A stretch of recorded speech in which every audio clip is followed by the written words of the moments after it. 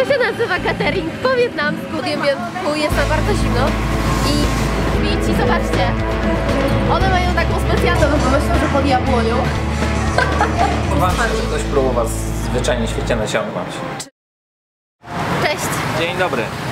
Zimno, przyszło jakiś naprawdę mega chłodny front, dotarł do Dien Bien Phu, jest tam bardzo zimno i przyjechaliśmy na, na Tu zupę. może tylko niespodzianki sobie nabyć. Tu są akurat męskie majtasy, ale może innym razem. I tak, zobaczcie, jest bun i jest okła i ka. E, kła. To jest em, zupa ze ślimakami, taką właśnie dzisiaj wybrałam. Kła to jest z krabem, a ka to jest z rybą i tą z rybą jadłam tutaj dwa dni temu, albo może nawet trzy. A te ślimaki to wczoraj Mariusz Wam pokazywał na targu, jak Pani wydłubywała szpilką. Chodźcie zobaczyć tą zupę. Tak. A tu mamy oka. Ka, kło. To teraz wszystko wiecie. Idziemy dalej. Widzicie, zupa wygląda tak. Chyba nie ma najprzyjemniejszego na świecie zapachu, ale myślę, że smakowo będzie gitara. E, I wywar jest jeden, tylko zmienia się jakby ta e, podstawa, czyli tutaj mam no właśnie ślimaki. I już bez muszelek. Samo mięso do jedzenia. W tej zupie są też kawałki pomidorów, kawałki tofu i jest makaron typu bun, czyli ryżowy, ale misinka cieknie taki w kształcie jak do rosołu nitki. Moment, muszę sobie y, dosmaczyć, więc limon, nieodzowna część. I teraz bym chciała coś do tego też ostrego. Taka ostra pasta chili. I w ogóle chciałam wam powiedzieć, że na północy ym, częściej zamiast papryczek chili takich na świeżo jest podawany czarny pieprz. Jest tutaj prostu chłodniej w tym e, w północnej e, części Wietnamu, aby można było uprawiać papryczki chili. Owszem, zdarzają się, ale e, można powiedzieć, że prawie zawsze na stole jest pieprz, czego na południu nie zawsze uświadczysz. Aha, i tu jeszcze mam taki trochę e, liści. Nie wiem, czy to jest szpinak wodny, muszę to spróbować.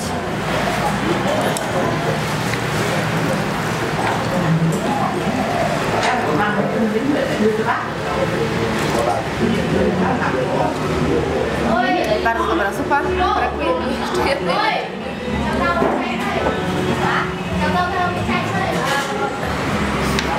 Czyli papryczka chili z czosnkiem w takiej octowej zalewie. Ola, to ile ty dodatków dodajesz do każdej zupy, każdego dania? Bardzo dużo. Zresztą y, to jest... Po to one tutaj są na stole, aby ich używać. I... Łakarsi też tak jedzą. Zupa tak naprawdę jest baza, to jest podstawa, a reszta to już zależy od Twojej fantazji.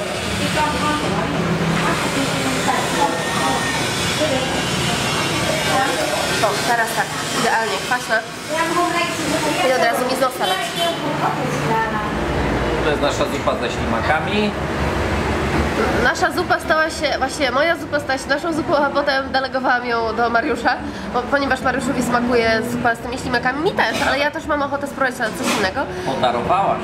I, I tutaj mamy ostatnią zupę, y, tutaj z repertuaru, którą próbujemy, czyli zupę y, z krabem.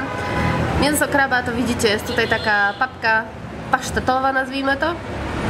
Ja już tutaj dosypałam sobie wszelkie przyprawy, czarny pieprz, e, papryczkę chili, papryczkę chili z mm, czosnkiem i też w, zakropiłam to limonką. Teraz będę to mieszać, ale widzicie, że tak naprawdę zupa się od tej poprzedniej e, za bardzo nie różni, jedynie tym bazowym składnikiem, czyli tutaj akurat e, mięsem z krawa. Jest też tofu i są pomidory. No dobrze, Spróbuj. Nasze zupy będą, z tego co się orientuję, kosztowały po 5 zł. Zdaje się, że 19 lutego jest e, festiwal TED, czyli Chiński Nowy Rok. I tutaj możecie zauważyć, jakie e, ozdoby są sprzedawane właśnie z tej okazji. Czerwony kolor i złoty, to one dają szczęście i gwarantują pomyślność kolejnego roku i dlatego widzicie, że większość tych ozdób właśnie w takich kolorach. Tutaj widzę Good morning. Pokazywaliśmy już Wam rękawice na motorze, a tutaj właśnie można je zakupić i zobaczcie. One mają taką specjalną tasiemkę tutaj, aby zamon- zamontować jakby na stałe, przymocować do kierownicy motoru. I voilà, można wsadzać dłonie i jest ciepło, przejeżdżając po górach na motorze. Nawet stopy tam można wsadzić.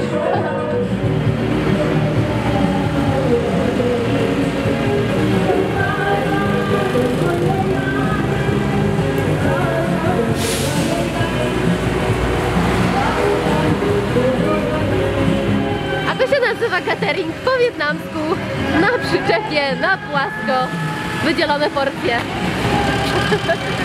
Hello. Hello. Hello.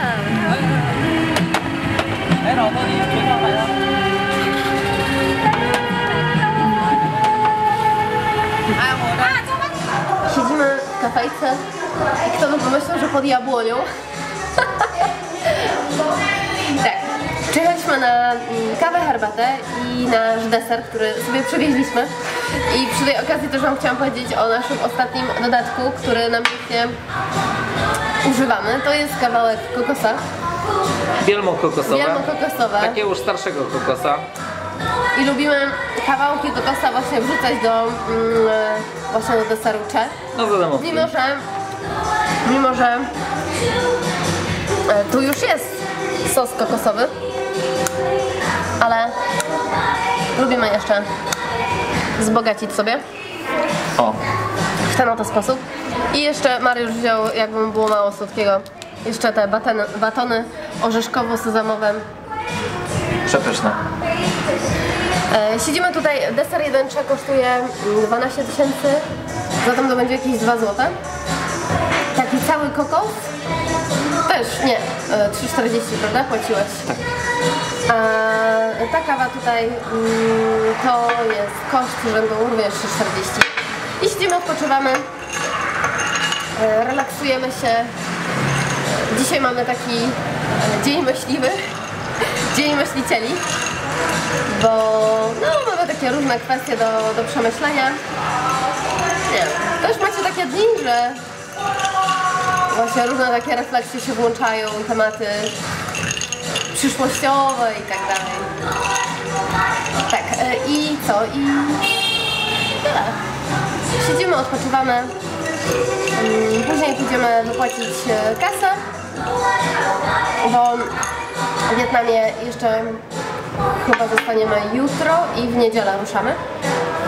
No i zakupy trzeba poczynić na... Zakupy trzeba poczynić, jakieś Na malutkie, drobne. Jak kawa wietnamska. Pokaż swoje buzie. Ja nie wiem, jaka jest magia tej kawy. No dobrze, w Polsce bardzo rzadko pijamy kawę, ale wiecie, nawet, no nie wiem, jeszcze po prostu w Polsce w żadnej kafejce, ym, czy do jakiejś takiej podrzędnej, czy lepszej, no tak dobrej kawy nie piłam w życiu. Wiecie w ogóle, że Wietnam jest drugim na świecie eksporterem kawy? Na pierwszym Brazylia. miejscu jest Brazylia chyba, tak? Dobrze pamiętam? Dobrze pamiętam. No więc cholera co? W Polsce nie mamy tej wietnamskiej kawy? Że nigdzie w żadnej kafejce nie można napić się tak pysznej? No nie wiem, Może nie trafiłaś do takiej jeszcze. nie trafiłam. Dobra, starczy tego.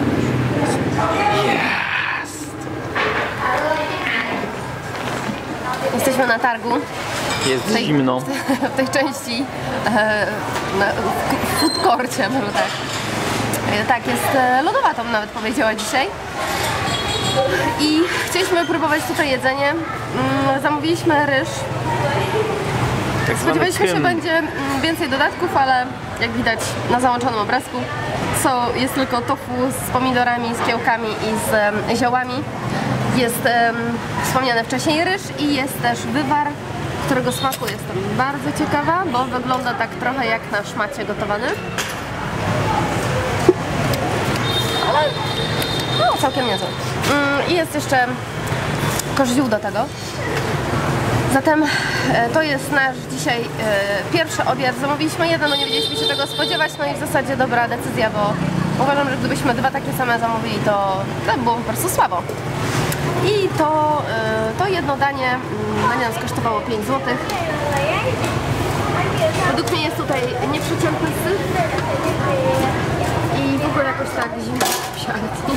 Tak, ale fajne jest to, że pani dosłownie niecały metr ode mnie przygotowuje na świeżo te posiłki, więc chociaż to jest pozytywne.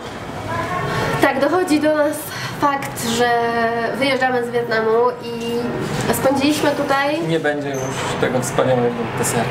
ale będą inne. Żartuję. Spędziliśmy tutaj 2,5 miesiąca. Coś koło tego wydaje mi się. No. I no. Dwa tygodnie byłyby trzy miesiące. dwa i- dwa i pół miesiąca. Bardzo długo. W sumie to chyba nie zapowiadało się, że aż tak długo będziemy w Wietnamie, ale spodobało nam się. No i teraz takie podsumowania nam się włączają. Przyjeżdżając tutaj do tego kraju, to no, w pewien sposób się obawialiśmy tego, co mówią inni, czyli tego, że będą naciągać nas, że będą Oszukiwać. nas oszukiwać, że trzeba uważać na kasę. Trzeba przeliczać resztę. Cały czas trzeba być czujnym, bo Wietnamczycy To takie sprytne bestie. potrafią, potrafią coś tam zahachmęcić. E, I teraz my po tych dwóch i pół miesiąca pobytu tutaj możemy wyrazić swoją opinię, mm, jak to w praniu wszystko wyszło. No i co? Oczywiście, mieliśmy mm, chwilę, kiedy nas e, naciągali. Właściwie Może to mieliśmy nie raz taką chwilę. Kilkanaście przypadków, myślę. Ci z Was, którzy są z nami e, codziennie, to mm, pewnie byliście świadkami, bo zdarzało nam się nagrywać takie momenty, ale też były takie momenty, których nie, nie mamy na filmach. A o których może opowiadaliśmy albo nie opowiadaliśmy. W każdym razie chcielibyśmy mm, podjąć z Wami taką dyskusję, jak Wy w czasie swoich e, podróży, w czasie swoich wakacji odbieraliście mm, no właśnie takie sytuacje, czy w ogóle spotykały Was takie sytuacje Czy związane z zdarzyło Wam się, że ktoś próbował Was zwyczajnie świecie naciągnąć? czy, czy nie, czy właśnie wręcz odwrotnie, byli bardzo uczciwi ludzie i, i nie było takich sytuacji dziwnych. Ja jak sobie pomyślę o tych, e, tych oszustwach przez Wietnamczyków, to mm, od razu do głowy mi przychodzi e, taki absurdalny, prześmieszny motyw, kiedy Mariusz zamówił obiad A, i, i zjedliśmy, jedząc ten obiad, podchodzi pani i e, powiedziała coś takiego, że no dobrze, ale to ty zamówiłeś obiad, a ona, czyli ja, e, skubała coś tam, też je, no więc w takim układzie musicie zapłacić za dwa obiady, mimo że porcja była jedna na stole. To było piękne. I co jeszcze? No i też to sfilmowaliśmy. sytuacja, z, gdy kupowaliśmy banany u pani na wsi. I pani e, z uśmiechem na twarzy wydawała mi złą resztę. I może ja się upominałam, a ona w zaparte. Dobrze ci wydałam, białasko. E, Także to były takie śmieszne momenty. e, No taki moment, kiedy nerwowy, kiedy się bardzo zestresowaliśmy. Z tą sałatką, tak? Tak, no to mieliśmy sałatkę, która, gdzie cena była ustalona na początku na 15 tysięcy, Wzrosło do 150, no to już 150 tysięcy. Z 2,5 zł zrobiło się 25 25 zł. E, czy coś Tobie się jeszcze przypomina z takich tematów? Co, na dzisiaj byliśmy na, na obiedzie i była taka sama sytuacja. No, panie- to, to tam już nie wiem, czy kumpela, czy kumpeli, czy Tak. coś. Hej, no jedliście w dwójkę jeden obiad, to musicie zapłacić podwójną stawkę znowu. No ale teraz jak się z czymś takim radziliśmy my? E, Zatem tak, z reguły ustalamy, pytamy o cenę na początku. O ile w Tajlandii tak nie robiliśmy, w Laosie chyba rzadko, tylko w turystycznych miejscowościach. Mm, To w Wietnamie to był już nasz nawyk, że jak chcemy coś, Tak. to za każdym razem Pytaj, ile to kosztuje. pytaliśmy przed, żeby nie było, wiecie, jakiejś takiej podwójnej stawki. I mimo, że czasami czuliśmy, że i tak e, zawyżają nam tą cenę, to no tą cenę akceptowaliśmy, tak? Bo uznawaliśmy, że jest po prostu... Albo mówiliśmy, że, Że nie. że nie dajemy i jedziemy dalej, albo tak jak ja teraz y, ostatnio kupuję banany i powiedzmy pani mówi Mamuj, 30? 30 tysięcy. Ja mówię, że nie, nie, 30 to nie, mogę ci dać 10, ewentualnie 15. No i jak myślicie, za, za ile w końcu ostatecznie kupujemy te Za banany? 15. Zwykle, Albo za 10. zwykle kupujemy za 10 albo za 15, także dają sobie nawet e, no, 200% wyższą cenę, no, ale są skłonni negocjować.